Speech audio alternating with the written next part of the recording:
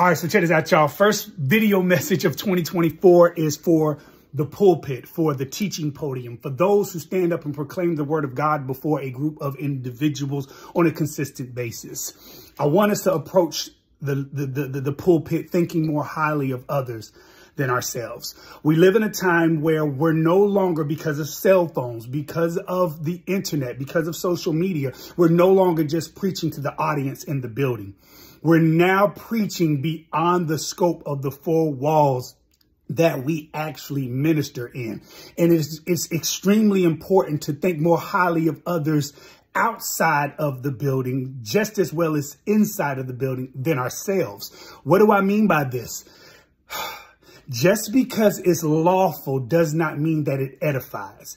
Meaning that, that that's an actual Bible verse, ladies and gentlemen. And I know he's talking about like the eating of meat that's sacrificed to idols that bears no um, burden upon a person's conscience and all this other stuff. But the reality is what I can do doesn't necessarily mean that I need to do it because it very well could be a stumbling block for other individuals. And what I've done is I've blocked the ability of the people to see Christ and see the gospel.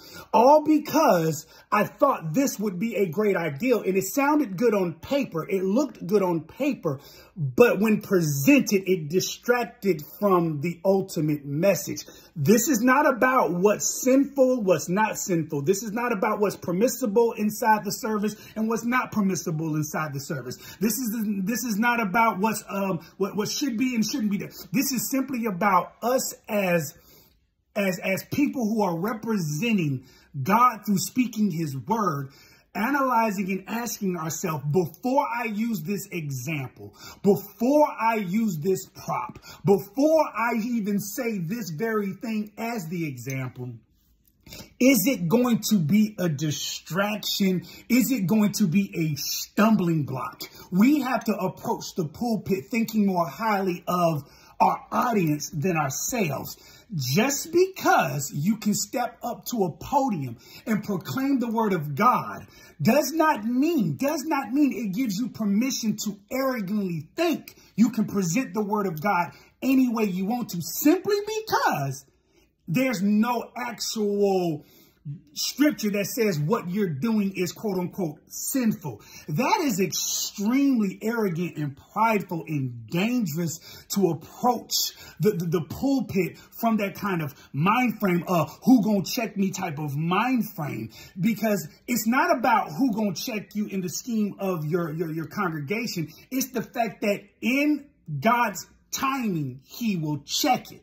In God's timing, he will check it. God is not slothful concerning his promises, right? When it comes to fulfilling out what he says. And his promises aren't just about eternal life. And his promises just aren't about, you know, that I'll provide all your needs through Christ Jesus. His promises is also that those who are wicked and done unrighteous will deal with his judgment. His promises go two ways. So it behooves us who stand in front of an audience proclaiming what we believe to be the word of God.